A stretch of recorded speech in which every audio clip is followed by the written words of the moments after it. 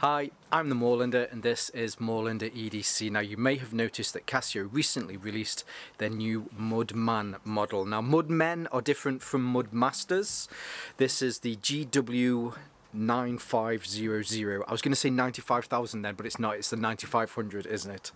Uh, I thought I'd pick one of these up. I've had this now for a few days. I've been wearing it out and about, and I think I've got a good enough opinion on whether I like this or not. So to help you to decide, let's look at this a little bit closer. Okay, so here we have it. Um, what we'll do is we'll go through some measurements, we'll have a look around the watch and then we'll have a look at some of the features of the watch itself. Now as far as your measurements are concerned, this is actually a little bit wider than it is taller. It comes in at 56.7 millimeters by 52.7 millimeters and it is 14.8 millimeters deep.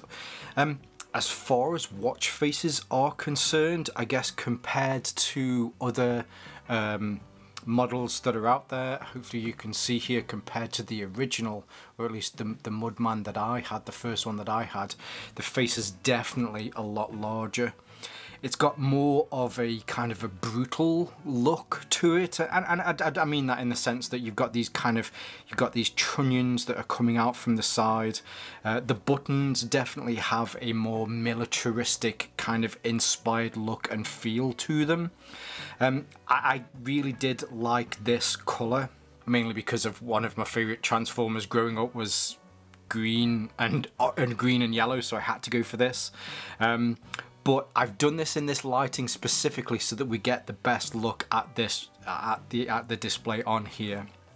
Um, as far as construction is concerned, so the inner module, or at least I suppose the outer shell for the inner module, is, is part of one of their carbon core models which is great. It helps to reduce the weight. Um, you can see it from the back here this black part on the uh, on the inside here. This is the this is the carbon core apart from this green bit there.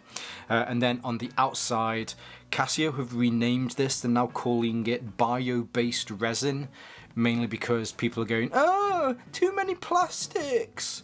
Um, so bio-based resin is less offensive to snowflakes. Um, but yes, it's now bio-based resin. On the back you have a stainless steel back. Now I will open this up mainly because I think what's important to show is on here we have uh, we have the mole on there. So the original, or at least the one that I have here, this had the mole on the back as well. Uh, this is how you know it is one of the Mudmen or Mudman watches. The module on here, just in case you're wondering, it is the 3553. It's classed as the GW9500. It is water resistant to 20 bars, 200 meters. Um, as part of Casio's G-Shock line, all of their watches uh, need to be able to be dropped from a certain height. They need to have a battery that lasts 10 years, uh, and they also need to be water resistant down to 200 meters. And this one, and I will read this right this time, I know in previous ones, I don't know why I read Taiwan, but it is Thailand this is made in Thailand. Um, strap wise, I do like the strap on this. I have had some issues in previous years uh, of the lack of just, I don't know, just interest in uh, Casio straps, but this strap, similar to this one here, and also on the on the on the G9000, it's actually got a little bit of character um, to it. It's got a bit more presence on your wrist. So uh, as far as uh, the, the, the, clasp is concerned, it is a metal clasp and you it is a double tang.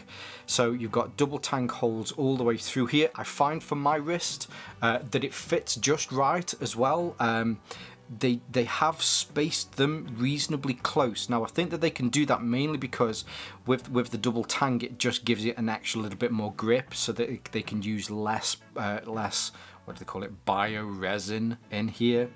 Uh, but they've also continued, so all of the holes that go through uh, through this side also go up through here as well. So it just it just continues that look around the watch. The uh, the the the stay that you have on here is plastic but even in itself if you look it's got a nice little it says G-Shock on there they've put a little bit more thought into it now it doesn't have a little tooth in there so Um, but then saying that, so when I've got this on my wrist, I probably still have enough that I can get it in there. Um, but it, it doesn't particularly move around a lot. I don't know whether it's because this is texturized. If it is, then, I mean, that is great because it does a very good job of keeping it there, but it doesn't have a, a, tooth in there so that it, it fits into one of those slots and doesn't move. But this is Casio getting back to making nice watch straps. I know I talk way too much about watch straps, but some of the straps that they've made have just been dull as dishwater. Uh, on the top here it says triple sensor because this is an ABC watch. ABC stands for altimeter, barometer and compass. Uh, then on the bottom here it says mud resist and then we've also got tough solar and multiband 6. So as far as keeping your time uh, as up to date as possible, the multiband 6, there's six locations across the world. Generally, they are in the northern hemisphere. Um, so, yeah, if you're in the southern hemisphere, you just got to keep updating your time yourself. Uh, but from what I understand, I think they're going to be scrapping multiband 6 soon now anyway because a lot of these watches do connect via Bluetooth to your watch so you can keep them up to date. This one doesn't, it doesn't have that feature so as far as keeping your uh, battery for as long as possible, it's not something that, that's just going to be wearing down your battery and just annoying you because it's not a feature that you don't use. So that that's great in my eyes. Um, tough solar on here. So there is uh, there, within the glass and around the outside. So it does have um, solar receptors in there to help to charge. Now it doesn't necessarily just have to be the sun. So here I have this little LED light here that I'm using uh, for this, uh, but that will continue to charge the battery on this. So it doesn't, it, it, it's any type of light will help to recharge this.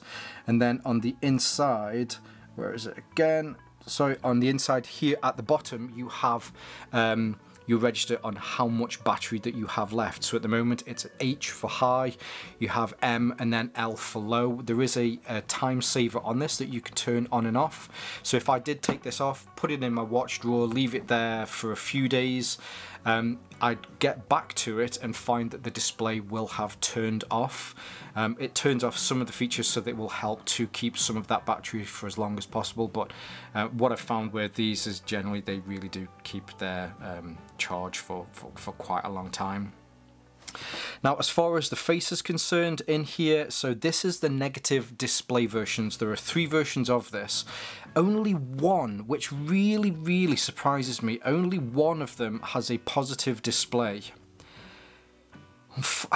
So, you might pick up a little bit of frustration here. I picked this up mainly because I like the green and, and, and yellow accents.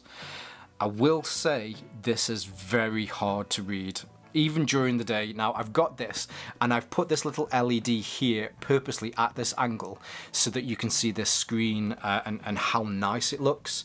We zoom in a little bit further as well, okay? Yeah, you really can see how nice that looks. However, you move it from any angle, it's, it's just so hard to see. If you're planning on telling the time with this in the dark, you, you, you just have to. You have to use the light. There's no two ways around it. Um, it's got a very strange angle on it as well. So the angle that you lifted up to read the time seems the hardest. So naturally, I lift my watch up, I can see the time, and then I can tell the time. That angle seems the hardest to actually view this at. You almost have to, I mean, oh, you can't do it at this because of the little light that's there, but you almost have to lift it up, turn it ever so slightly, and then move it forward to be able to catch the light.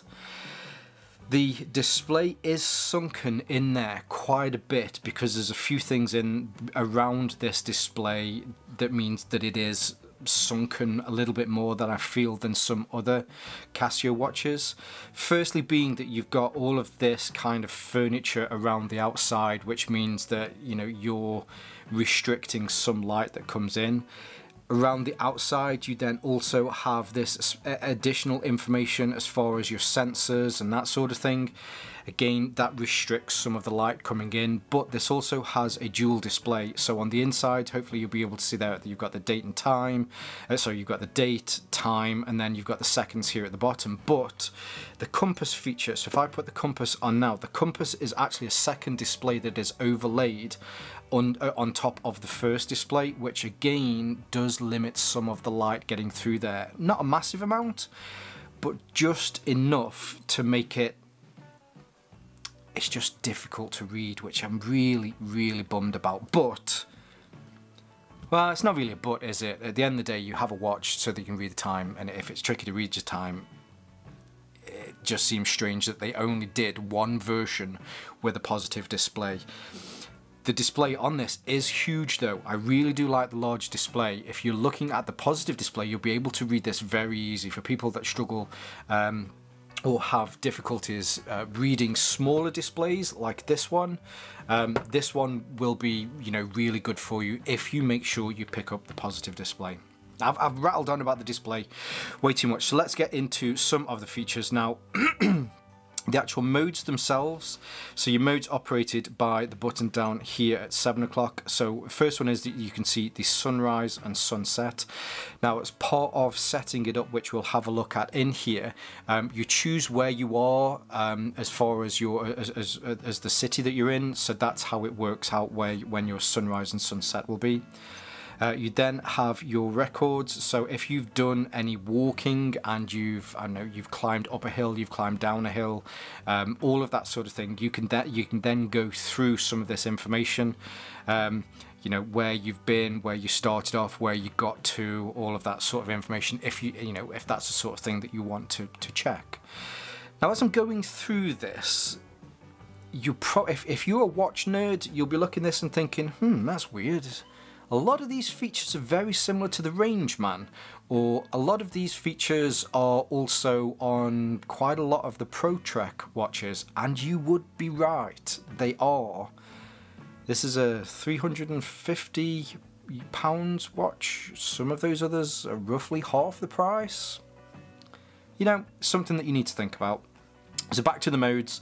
Uh, so that is uh, so that's what did they call it? I forgot what they call it then. um, but that's that's your kind of record of what you've been doing for that day.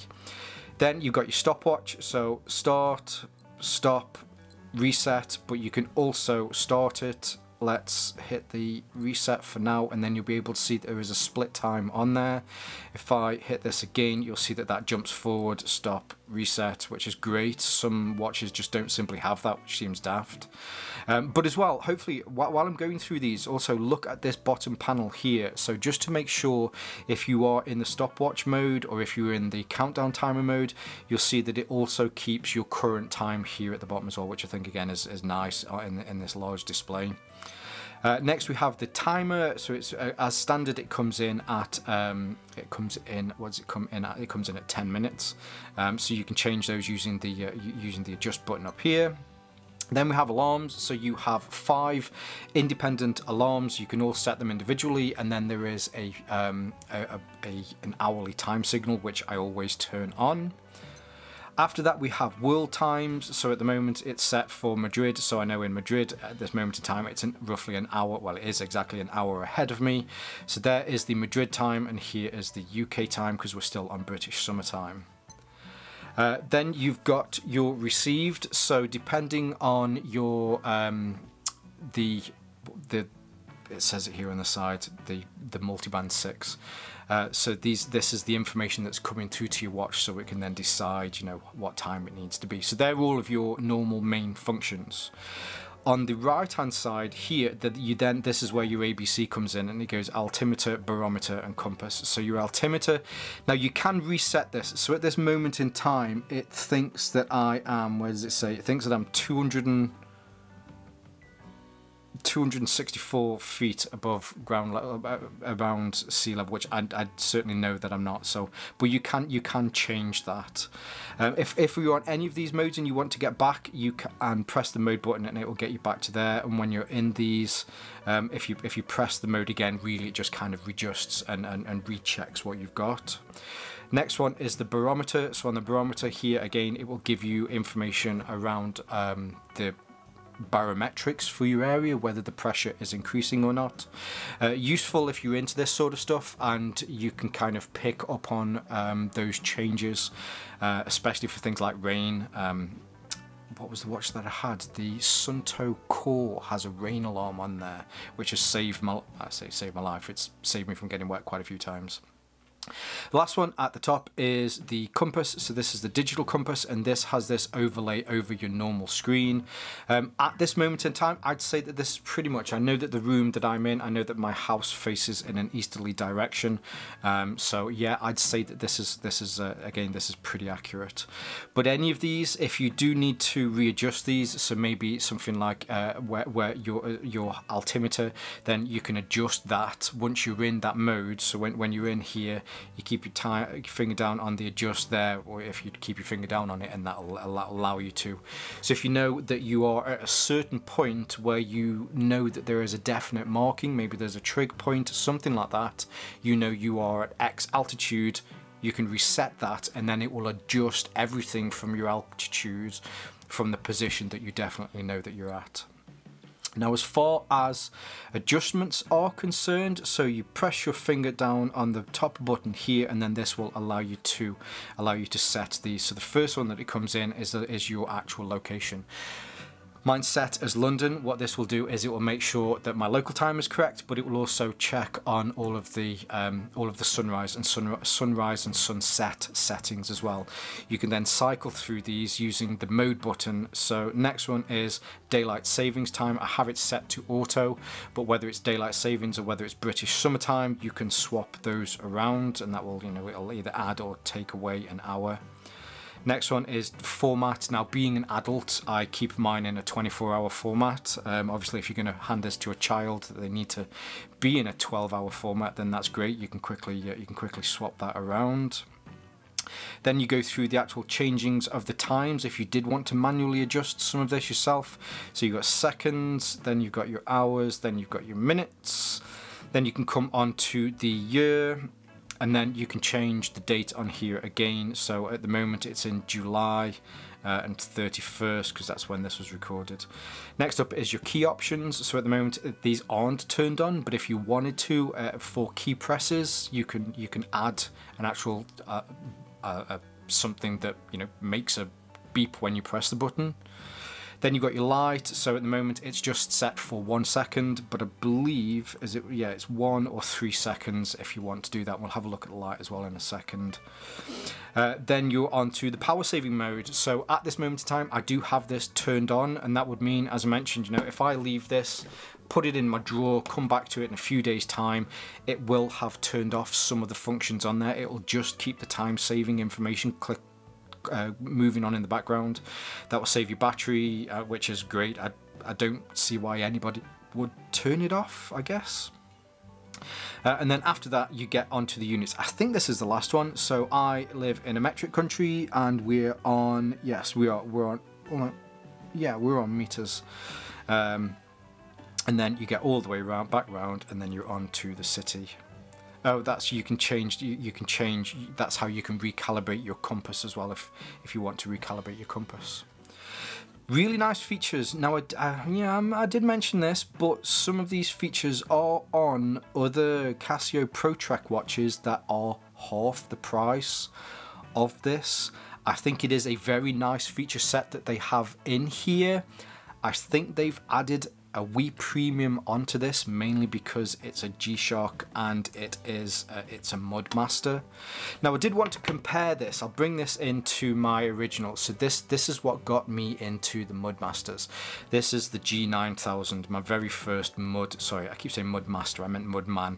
This is my very first Mudman, and I genuinely do love this watch. It's possibly one of the best keeping timed Casios that I have, you'll be able to see that this shies in comparison to the size of the uh, of the of the 9500. Um, putting them like that as well, you can see that the 9500 is definitely a lot thicker as well.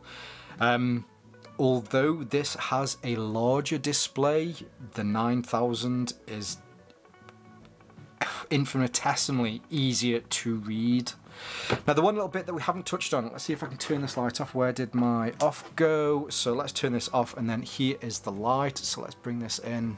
Oh, let's make sure we're in focus. The light on this is great. It really is a good light, but you will find that you will be using this an awful lot because trying to read this in the dark is it's just incredibly difficult. It really, really is difficult to be able to read in the dark, so you will be using your light quite a bit. Now as a wrist check, because I know people do like to see it on my wrist, I have a seven and a half inch wrist. Uh, I've got four uh, four holes left. I can still get that in there. There's still plenty of room. It, I've in, in the three or four days that I've owned this, it hasn't come out. Um, my wrists are quite warm at this moment in time, so I do find that they do swell quite a bit. If you're like me, you might find that you're adjusting it quite a bit through the day, but it sits on there, it feels really nice. You do get a bit of a push in there, especially when I have it uh, have it on its tightest. Um, but as I mentioned, you know, my wrists are quite warm today, so I'm just going to push that back out so that doesn't push in as much but these kind of protruding buttresses here they do stick in just a little bit. This one on this side, so this is actually the sensor for all of the ABC functions that are on here. Um, that's not so bad, but I think on the wrist it does look really nice. I think it would be fair to say that I'm almost slightly torn on this watch. My original um, G9000 was probably half the price of this. Yes, it didn't have a lot of the features that this had, but when you look at Casio's other lineups, there's some ProTrek watches that have pretty much got a carbon copy of the features that are on here that are still, again, half the price. I think as far as the looks, it has that kind of bombastic, just presence on your wrist. It's a large watch and it feels like a large watch. And I think it looks great. The green and uh, the green and yellow highlights on this remind me of my favoritist Transformer from back in the days. And this is what really attracted me to it. Whether I can get past how hard it is to view the display at certain angles or it's, it's, it's just not viewable in the dark. I wish the perfect balance for this model would have been for it to have a positive display.